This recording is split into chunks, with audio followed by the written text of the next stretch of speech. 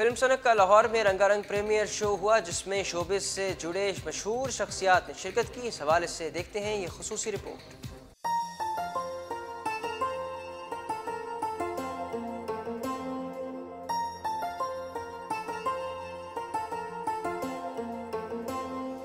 सनक नाम, पिक्चर का बहुत अच्छा नाम, और चूँकि इसमें ज़्यादातर नई कास्ट है, और सीनियर भी हैं और जूनियर भी हैं और जैसा कि हमारे मुल्क में आपको पता है कि बहुत कम पिक्चर बन रही हैं, लेकिन जो जो पिक्चर आ रही हैं, बहुत अच्छा बिज़नेस चल रहा है। ईद पर जो पिक्चर्स आई हैं, उन्होंने बहुत अच्छा बिज़नेस किया है।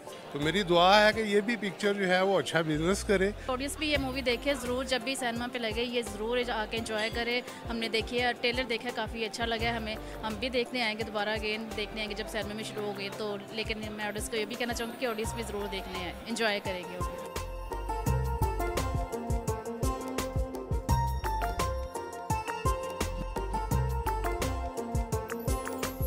एज ए लीड हीरो ये मेरा पहला काम है ये मेरी पहली मूवी है। और इस सनक मूवी के अंदर मैं करेक्टर प्ले कर रहा हूँ उस करेक्टर का नाम है वारिस।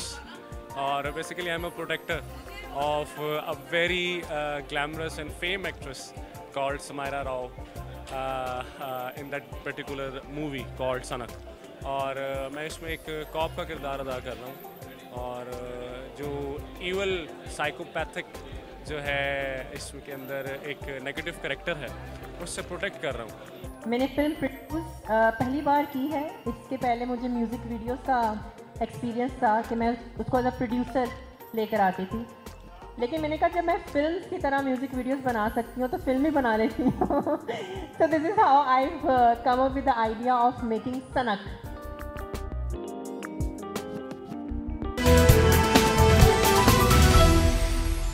film Sanak का लाहौर में रंगारंग प्रीमियर शो हुआ, जिसमें शोबे से जुड़े मशहूर शख्सियात ने शिरकत की। इस हवाले से देखते हैं ये खसूसी रिपोर्ट।